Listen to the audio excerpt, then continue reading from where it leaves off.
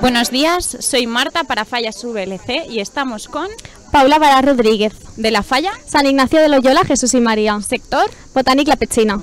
Cuéntanos, Paula, ¿a qué te dedicas en tu vida profesional? ¿Estudias, trabajas? Pues acabo de acabar el máster para profesora de educación secundaria de la especialidad de, de Economía y estudié negocios internacionales. Ahora dime, ¿desde cuándo eres fallera? Y si lo has sido, ¿has sido siempre la misma falla? Soy fallera desde, desde que nací, desde pequeñita. Mi, mi abuelo me apuntó a, a la comisión y toda mi familia es de la misma falla. ¿Cómo has vivido el año de fallera mayor? Pues ha sido un año mágico. La verdad es que con la pandemia eh, teníamos un poquito de incertidumbre, pero, pero yo siempre aposté por, por ser fallera mayor, era mi sueño y vi la oportunidad y, y no lo dudé en ningún momento porque me hacía muchísima ilusión eh, poder ser fallera mayor de mi comisión. ¿Con qué momento te quedarías de todo el año?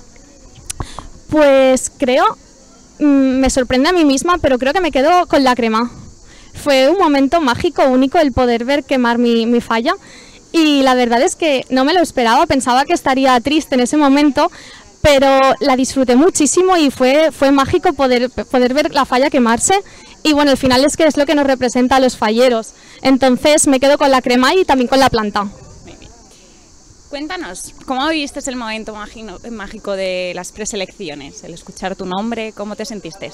Pues estaba muy tranquila, la verdad, durante, durante todo el día yo estaba tranquila porque quería disfrutar del día y al final todas las candidatas éramos, éramos posibles y cualquiera de nosotras podía salir. Al final éramos todas buenas y, y era lo que el jurado decidiera. Y la verdad es que cuando escuché mi nombre me quedé en shock porque no me lo esperaba para nada y, fue un momento mágico, muy emotivo y también el, poder ver a toda mi familia ahí apoyándome y estando a mi lado fue, fue muy emocionante y con mucha ilusión. Ahora te quedan unos días, meses eh, de muchas pruebas, de eh, mu- mucho cansancio, pero de mucho disfrutar también.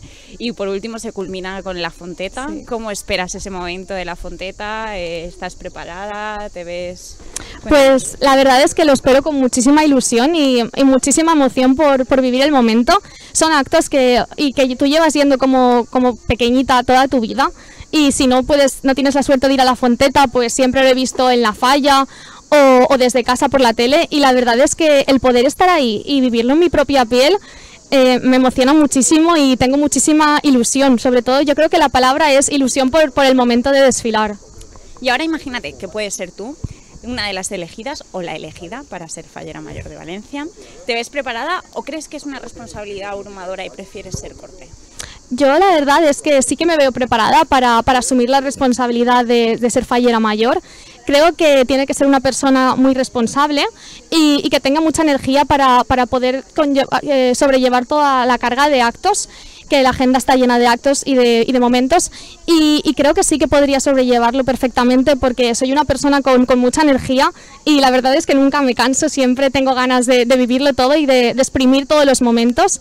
Entonces, con muchísima ilusión y, y muchísima emoción de, de vivirlo todo. Ahora se habla mucho del próximo Congreso Fallero. Dinos un poquito qué opinión tienes al respecto.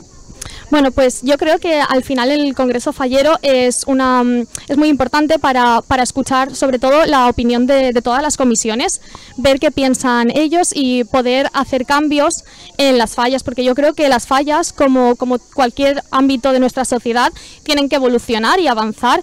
Entonces creo que es muy importante para, para poder escuchar a las comisiones y, y decidir eh, si se quiere hacer algún cambio o alguna pequeña modificación. Creo que, que es una iniciativa muy, muy importante. ¿Cómo crees que se ha comportado el mundo fallero durante el año de pandemia? Yo creo que, que dimos un ejemplo único a, a todas las fiestas. Fuimos la primera fiesta en cancelarse y la verdad es que fue un mazo, un mazazo muy, muy importante. Y la verdad es que creo que, que ser la primera fie- gran fiesta que se celebraba tras la pandemia fue una gran oportunidad y que dimos un ejemplo a todo el mundo de, de cómo se puede celebrar una fiesta en pandemia. Y bueno, las cifras lo demostraron tras, la, tras las fiestas de las fallas de septiembre, que no hubo apenas brote y, y los- las cifras continuaron igual. O sea que creo que dimos una lección a, a todo el mundo de, de cómo celebrar una, una fiesta. Vale, eh, ahora te voy a hacer una preguntita y quiero que me Genial. des un- una opinión respecto a ello. ¿En todos ca- los casales se cuecen habas? Yo creo que, que sí, al final eh, tú estás con, con muchísima gente, entonces al final del, del roce siempre, siempre pueden pasar. Pues con esto vamos a ir finalizando. Muchísimas gracias. Queremos agradecerte la amabilidad que has tenido. Te deseamos un feliz verano y toda la suerte del mundo desde Fallas VLC. Muchísimas gracias. Muchísimas gracias a vosotros también. Muchas gracias. Hasta luego. Hasta luego.